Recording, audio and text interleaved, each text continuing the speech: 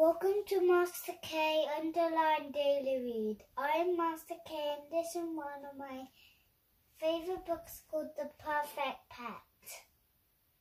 And it's the same as Creepy Castle here. A creepy castle. And written by Liz Norton and Mitchell Gartu. Everyone knows that. The perfect pet. Skelly Nelly, I mean, Creepy Castle stood on top of a creepy hill in the middle of a creepy forest. Two skeletons lived there. Their names were Skelly Nelly and Bony Tony. One rainy day, Skelly Nelly ran and Bony Skelly. One rainy day, Skelly Nelly and Bony Tony were playing in a room on the top of the castle tower. Very cheap to me.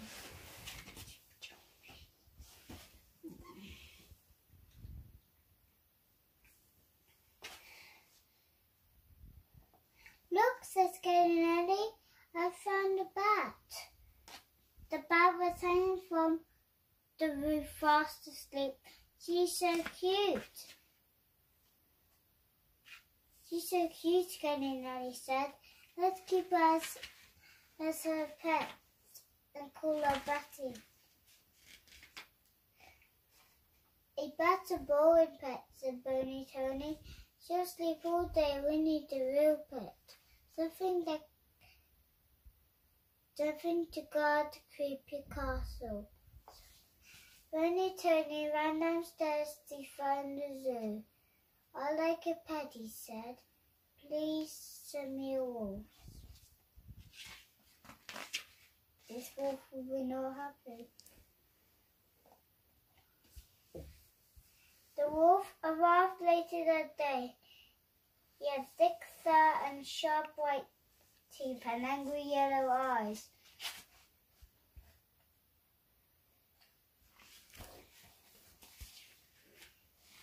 I need, said Bony Tony.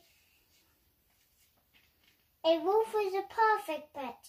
I'm going to call him Fang. Fang doesn't sound like a real word. Bony Tony tried Fang up outside. Don't let anyone into Creepy Castle, he said. Fang threw back his head and howled loudly. Bony Tony's bones were so perfect, he cheered. That afternoon, Bony Tony went to Skelly Nelly in the tower. She was reading a book, waiting for Betty to wake up. I'm going to buy Fang some food, said Bony Tony. Outside, Fang was still guarding Creepy Castle. Good boy, said Bony Tony. He was the only lion fighting the people away. Good boy, said Bony Tony. I'm gonna get get you some food. I'll be back soon. Bony Tony came back from the shop, Frank couldn't let him in. He growled ferociously and barked his sharp teeth. Let me in, come on, command Bernie Tony. I live here. Frank broke away from the drawbridge and charged at Bernie Tony. Charge! Bernie Tony screamed and ran into the forest, climbing a tree just in time. Help! Skelly! Help! Skelly! Help! He shouted, but Fang was so, so loudly that Skelly Nelly couldn't hear him. When it got dark, dark Betty woke up. Hello, I'm Skelly Nelly said. Skelly Nelly said. Skelly. Skelly Nelly. Skelly Again. Nelly said. Skelly. Again. Hello, I'm Skelly Nanny said. Skelly.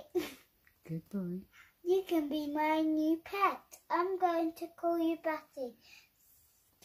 Skelly Nanny was climbing down the stairs, sitting back out the window. Hey. Do it properly. Out, Betty flew out of the window. Come back! Skelly Nanny cried, looking out of the window. Then she saw Bony Tony up in a tree beneath him. Oh no! Cried Skelly Nelly, racing down out of the castle.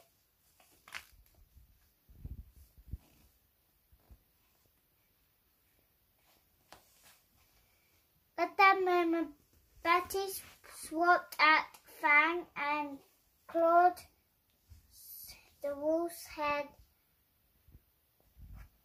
again and again. Fang howled in pain and fell deep into Fled. the fo- flood, deep into the forest. Betty chased him to make sure he didn't come back. Bony climbed down from the tree Bony and Tony? raced to Skelly Nelly. Are you okay? Asked. I'm fine, he said. Quick, let's get back into the castle. Together they crossed the drawbridge and ran up the tower. When Betty returned, Bony Tony, stroked her gratefully. Well done, Betty, he cried. You don't want a wolf as a pet, so you don't want a wolf as a pet anymore? asked Skelly Nelly. No, I don't, said Bony, um, Bony Tony replied. Betty is the perfect pet.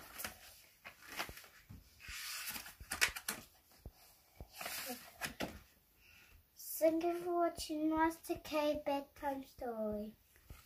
See you next time. Bye, bye, bye.